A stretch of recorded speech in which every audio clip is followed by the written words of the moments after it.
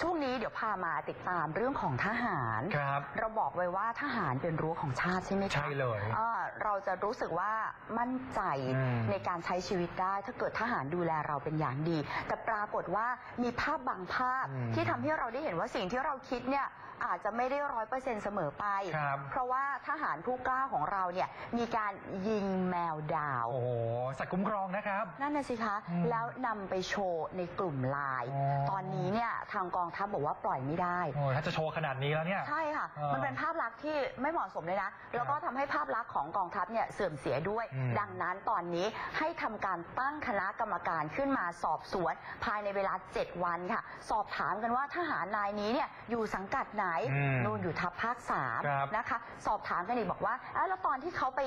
ยิงแมวดาวที่ว่านี้เนี่ยยิงในค่ายทหารหรือไม่ นั่นน่ะสิ ตรงนี้ยังไม่สามารถที่จะฟันธงบอกได้ร้อยเปอร์เซ็นต์เพราะเดี๋ยวต้องรอรายละเอียดที่มีการสืบสวนเพิ่มเติม จากคณะกรรมการที่ตั้งขึ้นมาก่อนนะคะ กรณีที่มีการนำเสนอข้อมูลใน Facebook ของ Watchdog Thailand ที่ปรากฏภาพของผู้ชายถือปืนยาว แล้วก็หิ้วซากแมวดาว รวมถึงถลกหนังตากแดดโอ้โหเนี่ยภาพแบบนี้ค่ะอ๋อแล้วมีภาพผู้ชายถืองูยาวกว่า 2 เมตรโอ้โห เออจนถูกวิพากษ์วิจารณ์อะว่าสิ่งที่เขาทำเป็นการทารุณกรรมสัตว์ นี่ถือปืนเนี่ยค่ะเท่ๆเห็เลยนไหมนะเนี่ยแมวดาวเนี่ยค่ะอ๋อ นะทางพันเอกรุ่งคุณมหาปัญญาวงศ์โฆษกกองทัพภาคที่ 3 เปิดเผย ว่าเวลานี้ได้มีการตรวจสอบเบื้องต้นแล้ว พบว่าผู้ชายคนนี้เป็นกำลังพลในสังกัดกองพลทหารราบที่ 7 ซึ่งกองทัพภาคที่ 3 จะได้ตั้งคณะกรรมการสอบสวนเรื่องที่เกิดขึ้น จะได้ทราบข้อเท็จจริงที่เกิดขึ้นทั้งหมด ทางผู้บัญชาการทหารบกก็ได้สั่งการให้แม่ทัพภาคที่ 3ดำเนินการตามระเบียบของกองทัพบกอย่างเด็ดขาด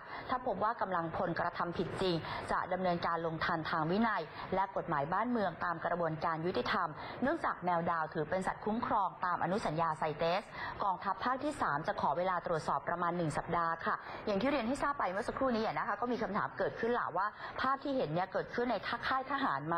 โฆษกกองทัพภาคที่ 3 ไม่ตอบในประเด็นนี้ บอกแค่ว่าให้เป็นเรื่องของคณะกรรมการสอบสวนต่อไปแล้วกันค่ะส่วนทางพันเอกหญิงสิริจันยาทองรองโฆษกกองทัพบกเปิดเผยว่า หลังเกิดเหตุหน่วยต้นสังกัด มีการตั้งกรรมการสอบสวนทันทีนะคะ เบื้องต้นกำลังพลยอมรับ ว่าใช้อาวุธปืนยิงแมวดาวตามที่ปรากฏในภาพ ก็ไม่ทราบว่าเป็นสัตว์ป่าคุ้มครอง ยอมรับและเสียใจในสิ่งที่กระทำลงไป กองทัพก็ได้พิจารณาลงโทษทางวินัย โดยการจำขังกำลังพลแล้ว รวมถึงประสานและอำนวยความสะดวกให้กับเจ้าหน้าที่กรมอุทยานแห่งชาติ สัตว์ป่าและพันธุ์พืชเข้าไปตรวจสอบข้อเท็จจริง และพิจารณาดำเนินคดีทางกฎหมายกันต่อไป ซึ่งรองโฆษกกองทัพบกก็บอกนะคะว่าเหตุการณ์ที่เกิดขึ้นไม่ได้เกี่ยวข้องกับหน่วยงานนะ เป็นพฤติกรรมส่วนบุคคล เป็นเรื่องที่ไม่เหมาะสมอย่างยิ่ง ก็ต้องขอโทษสังคมที่กำลังพลบางนาย มีพฤติกรรมในลักษณะเป็นการทารุณกรรมสัตว์ด้วยค่ะ